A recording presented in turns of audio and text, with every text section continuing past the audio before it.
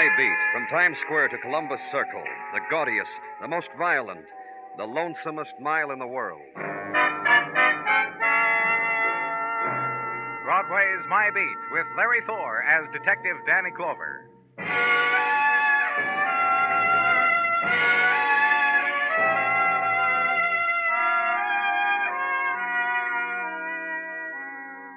When April comes to Broadway, the street is wide enough for everybody blondes in convertibles, Pekingese in taxis, and sailors and college fellows and convention fellows.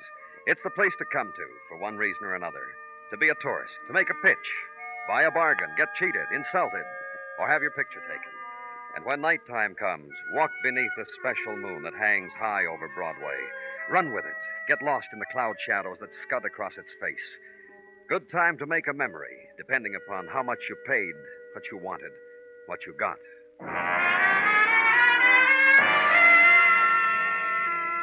And the quality of night on the street where I was was hush, lapping against cool gray stone, Sutton Place. And inside, paneled room devoted to books in red leather sets, pipe racks, carved mahogany desk, and jade chessmen. Man type room for seclusion, for man type problems, now given over to this man stabbed to death with ivory handled letter opener. Also, man who doesn't believe it. It'll take time, Mr. Clover. This has happened to me before, you know. No, I didn't know. Several times. Dreams. hmm And this setup here has a dreamlike quality to it. Don't you think so? No, I don't think so, Mr. Reed. I see. So there'll be no awakening from it, will there? Uh uh Well, You ready to tell me about it? Mr. Dayton. Him. Mr. Dayton called me at 7 o'clock at my place, said, bring your book and be here at 10. Your book? I'm Mr. Dayton's secretary. I thought I told you that. Oh, go on. Oh, I knew my evening was loused up all right as soon as Mr. Dayton said that. Loused up? That's mild for what's happening now, isn't it? Mr. Reed. Well, at 10, I let myself in. I have a key, you know. I've been with Mr. Dayton some 10 years now. He gave me a key because these sort of evenings are not infrequent. so you walked into the library and you found Mr. Dayton. Exactly like this, and I buzzed you. How strange. What is? The dream quality is gone. You know, I'm convinced that this really is happening. I'm glad for you. Now, tell me, Mr. Reed, what, what kind of business was Mr. Dayton in? Real estate. He owned properties from Park Avenue to Harlem, inclusive, both ends. Exceptionally capable man. Oh. What kind of man was he to work for? Oh, kind, generous. Always felt for his tenants, wondered how some of them could live like they did. How about his friends? Well- the women. Exclusively. You may as well know that. The line of business you're in and what you have to do now. A particular woman, Mr. Reed. Well, these last couple of months, I've sent flowers for him only to Miss Vance, Cecily Vance. I'll jot down her address for you if you wish it. Well, do you? I do. Well, you must admit the evening's really loused up. Wouldn't you say so?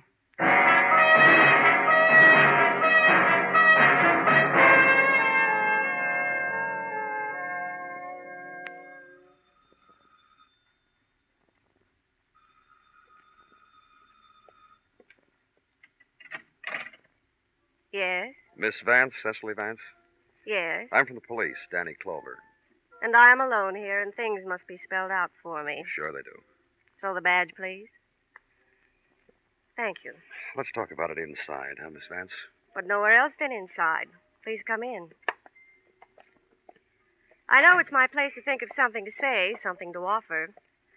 Just be content with the music coming from the record player. Let's talk about Frank Dayton. Frank? But what a nice gambit you've given me. I'm pleased, really pleased. About Frank Dayton. An infinite man. A good man. Kind, gentle, forbearing. And I'm a girl who can take a good deal of forbearance. Why do you make Frank our topic of conversation? Pleasant though it is. A little while ago, we found him murdered. Miss Vance, This place of mine. This incredible penthouse, this view of the city. And the miracle of it. Every night on the night. did you hear me, Miss Vance? I said Frank Dayton Frank was... made it all possible. We were engaged. He showed me this place and he said, get it ready for when we're married. So deep a fall to the pavement. No, don't touch me, Mr. Clover. I shan't do anything silly. I'm a very sensible girl. Good. And because you're like that, you know why I'm here. In the last few weeks, flowers I've had from Frank, but no Frank. And being as I'm so sensible, I would not kill a man who keeps dead memories fresh with cut flowers. Another woman? Is that what you're trying to tell me? I don't know. I don't know what I'm trying to tell you. Just simply, so we won't waste time. There was a March day, soft, lush, and a ride with Frank to view his properties. And one of them where we stopped. Go on. Yes, go on. And a girl in a window. A girl 16 or all of 17, all of that. And Frank sat very quietly and looked at her. And I said, Say something, Frank, and he did. What? He said, Look at her, Cecily, and tell me what I am to say of a girl. Of a girl that is a prayer, like the touch of wind in a twilight place. Frank never said words like that about me, about anyone or anything. Where was this place? Where else? Tenement. Third from the corner of West 19th and 10th Avenue. Place on the first floor street. You'll know it. Because there is a window there stained with the beauty of a 17 year old girl. We finished our chat? Yes, uh, for now. But you'll. I shall go to sleep and pray my soul to keep. And in the morning I shall sleep. And for days and days. So you'll know. Nighty night, Mr. Clover. Leave her. And for a while walk with it in drift of April night. And from a bright lighted room where dancing was, the quick squall of recorded music, and floating on it the April laughter, to mix with river sound, with leaf whisper of a tree in a concrete well, with image of the night's earlier violence. And turn a corner, the street now with no laughter in it, only the man alone, propped against a darkened doorway and murmuring to no one in particular, and to no night in particular. And farther on, the stairs, the room, the sleep.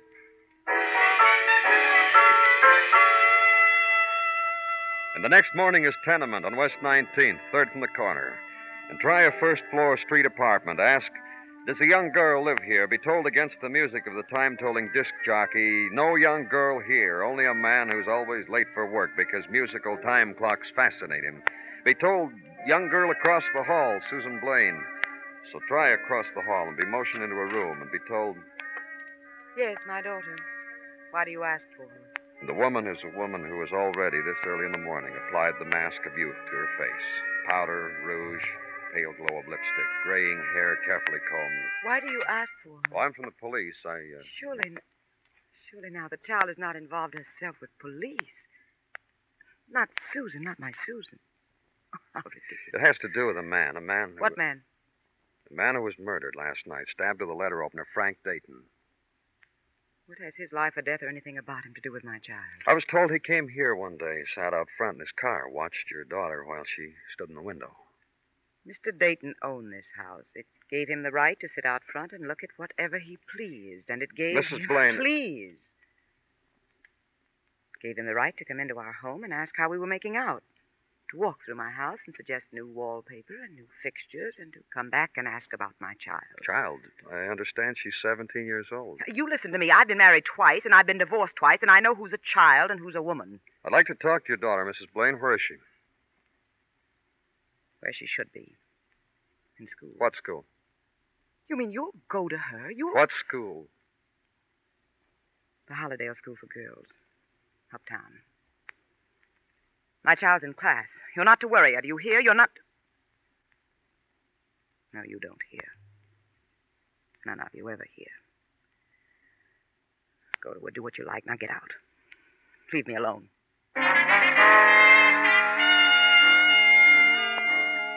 So ride the morning streets cross town and up.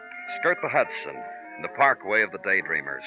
The place you're looking for, Holiday School for Girls. Up the driveway between flower beds at first budding time. Park and get out. Onto the porch, clean and set with redwood furniture exactly spaced. And inside the waiting room, trophies for hockey and basketball and cooking, glass caged. And the marble statue of two girls at the feet of a teacher with arms outstretched and whose eyes are glazed in a stare at the overhanging motto A good girl is a good mother. And in a moment, A Miss Mildred enters and introduces herself and listens most kindly to your wants, then leads you outside to where you will find Susan Blaine. Uh, Susan is in the garden, Mr. Clover, in the hothouses, and won't you come with her? So walk with Miss Mildred past empty playing field and nod to her theory of why young ladies should be familiar with the propagation of bulbs, ivies, and blooming plants. Finally, the section devoted to hothouses. Go into one. And Miss Mildred points out Susan Blaine. Tells you she's an extraordinary girl. You'll see why. There she is by the roses. Leaves you. Susan? Yes, My name's Danny Clover, Susan. I'm from the police. Yes. Well, what do you want of me? You knew a man named Frank Dayton, didn't you? I know Mr. Dayton. Why? He's dead, Susan. Oh, I see. How did he die? He was murdered. That's interesting, isn't it? Here's a rose. Throw it on Mr. Dayton's grave for me, will you? Thank you very much.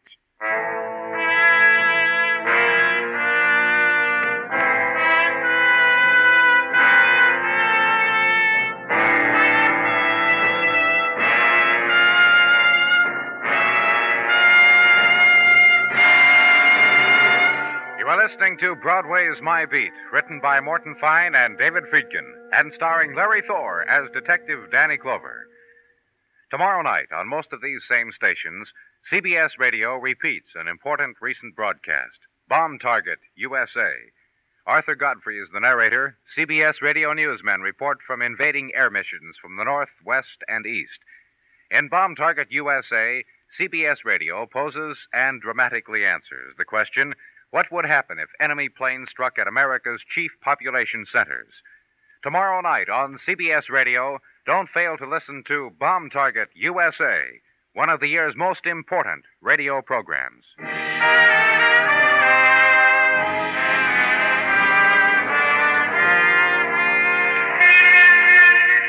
Spring comes to Broadway in many ways. It rides the rust stained freighter still rhymed with tropic seas, is nudged into the harbor on the snouts of eager tugs, docks at the river piers, and disembarks. Then softly drifts the streets, gathering sounds of city and odors and dust of city, festoons city in drapes and whirlings of warm light, and rides too the fragile vessel of a girl's silken skirt. And windows are flung open and hands stretched out to catch the fall of sun. Time of the waking dream, time of the smile. Spring on Broadway. Where I was, April Garden to be walked with a young girl, and distantly the laughter of young girls batting spring across a high net and crouching for the return, and to a path and a bench overlooking the flow of river and sway of anchored river craft and the furlings of their bright new pennants. Oh, here, Mr. Clover. I've made room. Sit here with me. Oh. I uh, spoke with Miss Mildred. She said it was all right for you. Oh, I know. She doesn't care how many classes I have to cut. You know why? I guess because. because it thrills her, that's why. You, what you are, and what's happened. She'll have thrills for months after. That Miss Mildred. Susan. And the girls, too. I'm sure you've noticed the whispers and the giggles and the signals being passed. They'll look up to me from now on. Not just because I'm the oldest one here. Exactly how old are you, Susan? Seventeen. It doesn't matter, does it? What? I mean, you'll talk to me as if I weren't 17, but older, and I understand things. Honestly, I do. Lots of things. Like, well, like, Like Frank Dayton? like Mr. Dayton. Tell me about him. The way he sat outside our house in his car that day and just looked at me. I'd stand in the window and brush my hair. And it was nice that he was watching me. And the other things. What other things? The times he came to the house and brought things for Mother and me. The rides after school along the river, places to eat, and places to just sit and talk. Places I never would have known. Did he ever try to kiss you, Susan? Oh, no. Susan, Yes. you have other friends, other. Uh, some of the girls. Amy, she's the one with the scar right here on her face. And there's Ruth. No, I meant boys. You have a boyfriend, Susan? Jimmy. Jimmy Lomax. Not anymore, though. Oh? He was hurt, and I went to him. And after that, I didn't see him anymore. Mother took me out of public school and sent me here, where there are just girls. And I didn't see Jimmy anymore. Why? I don't know. Mother said not to worry about it, though. Mother said it didn't matter anyhow. Mother said he'd be all right. What happened to him? He was hurt. Beaten, you know. And I went to him. Then I went away from Where him. Where was he when you did that, Susan? Right across the street from me. He had a room there. Oh, I, I think I'd better go back to class now, Mr. Clover. And And what? if you ever meet Amy, my girlfriend, don't tell her I said she had a scar on her face. She likes to pretend she hasn't. She. Oh, well. Goodbye, Mr. Clover.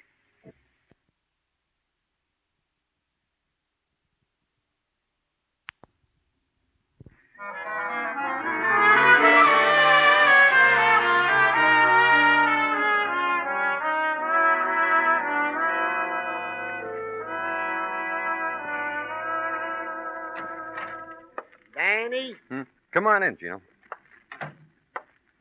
Come on, Danny. Andy up. Drop a coin in the cigar box. Or a folded bill can also be slipped into the slot. Yeah. Uh, here you are, Gino. So you're taking up a collection for what? For Officer Pulaski. Again? Uh huh. Well, how come every two or three weeks the cigar box goes around for Pulaski? Uh, last time it was for his daughter's confirmation. What's it for this time? Mrs. Pulaski is going to. Again? All right. Thank you, Danny. You got something for me? Just a fond wish that one day I may be passing the cigar box around for you. Danny, have you considered Let's get to work, shall we, Gino? Very well. To wit, no news on the boy Jimmy Lomack, in spite of the All Points Bulletin, which is out for him. Okay, what else? That Jimmy Lomack did participate in some activity which became the concern of the police. I'm waiting, Gino. About six months ago, he was clobbered by a skillet. What? By an iron skillet which hung in his room and which came with the rent. And he was slugged with it by whom? This the boy would not reveal. Perhaps due to the embarrassment of having been knocked cold with such a ridiculous weapon. Let's go, Danny. Where? Why? Uptown. Cop on the beat just spotted Jimmy Lomack. Come on.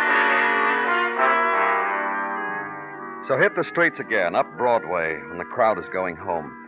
Thread of sunshine, reserved for eight hour day people. And they walk slow or fast, depending upon how the day went, what they're going home to, if they're going home.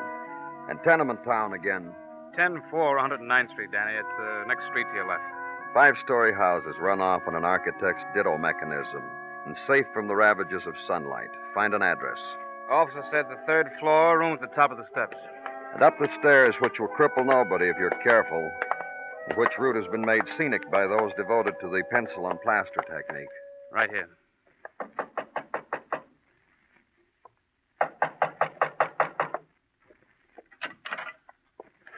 Fellows from the squad car just parked, huh? That's right. Are you Jimmy Lomack? Mind if I come in? You decent, Marva? sure are. Now, come on in, fellas. My wife's decent.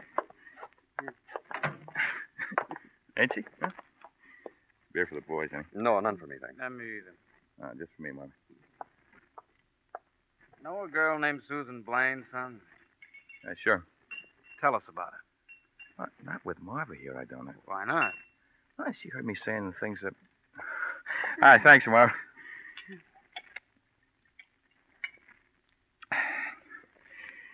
Uh, Marva, these boys are cops. They asked me about a girl I used to know before we got married. It wasn't like you, Marva. I'm glad. Ah, this girl was too perfect to be true. Tell us what you mean by that, Jimmy.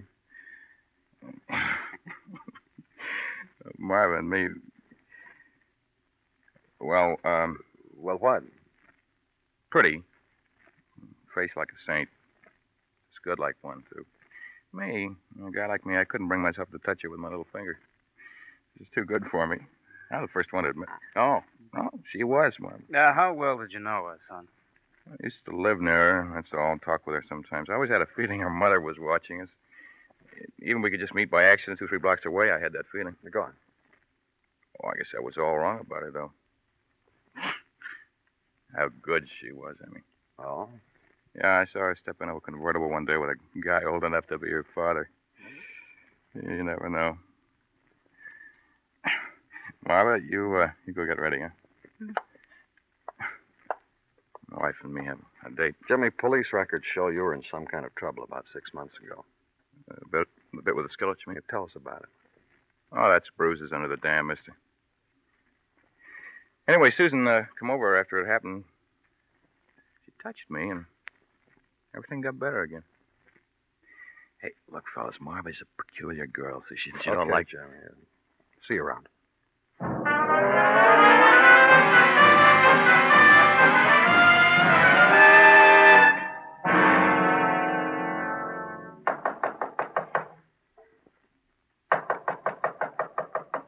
Oh, I'll get it, Mother. I can open the door, can't I? Oh, hello, Mr. Clover. Hello, Susan. You here again? What do you want?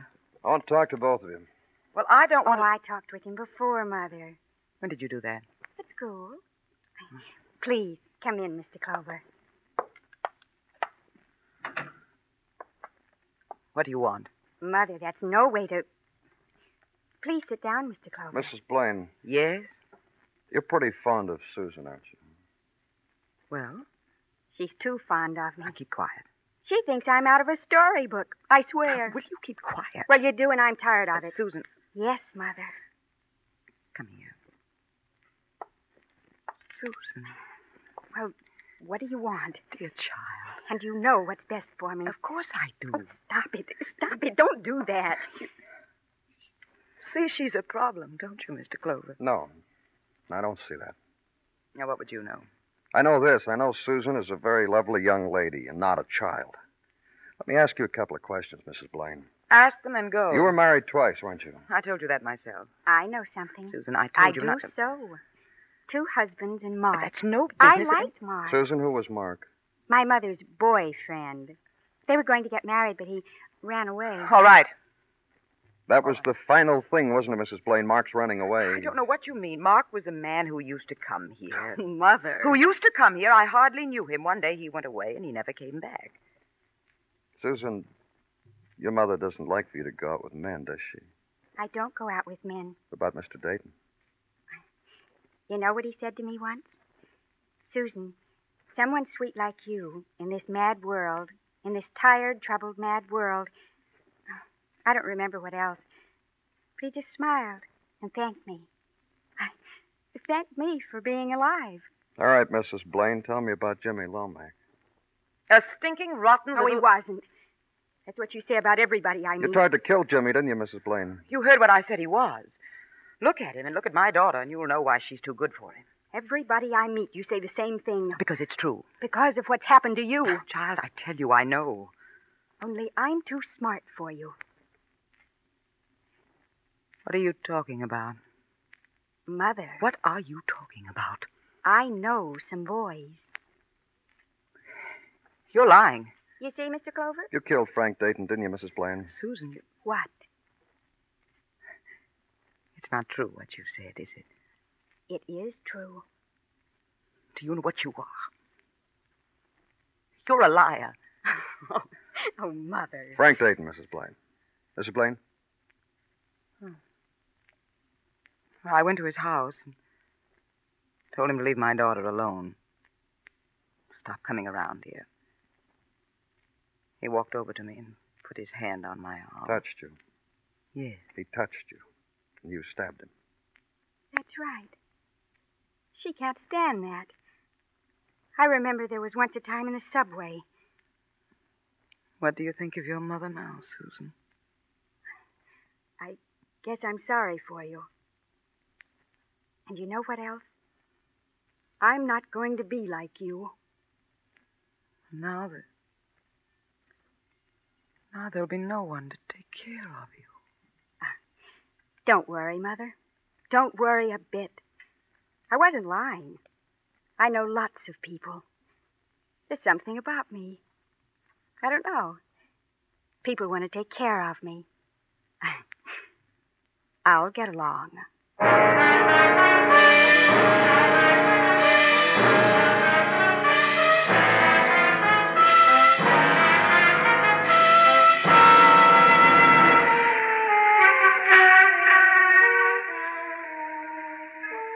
Twilight lies against Broadway like gray speckled gauze, ripples off into another world.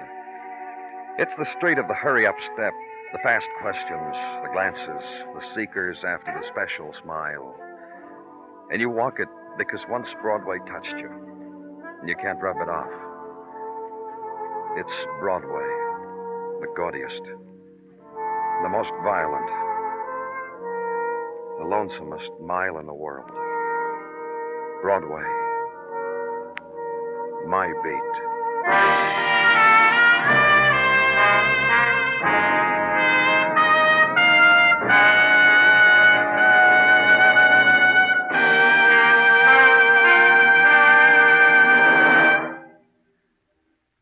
Broadway's My Beat stars Larry Thor as Detective Danny Clover, with Charles Calvert as Tartaglia and Jack Kruschen as Muggavan. The program is produced and directed by Elliott Lewis, with musical score composed and conducted by Alexander Courage.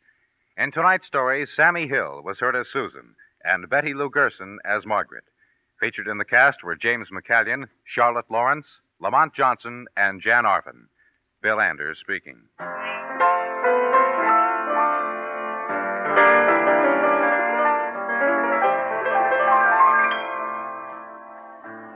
Night, Ronald Reagan will be featured as the new man on your CBS Radio Theater of Stars. It's the story of a young doctor's struggle for trust, recognition, and a livelihood in an isolated rural community. Remember, it's your Theater of Stars production for tomorrow night over most of these same stations. Also, tomorrow evening on CBS Radio, don't miss Lionel Barrymore and Mrs. Lou Gehrig on Hall of Fame's dramatic story, Father of Baseball.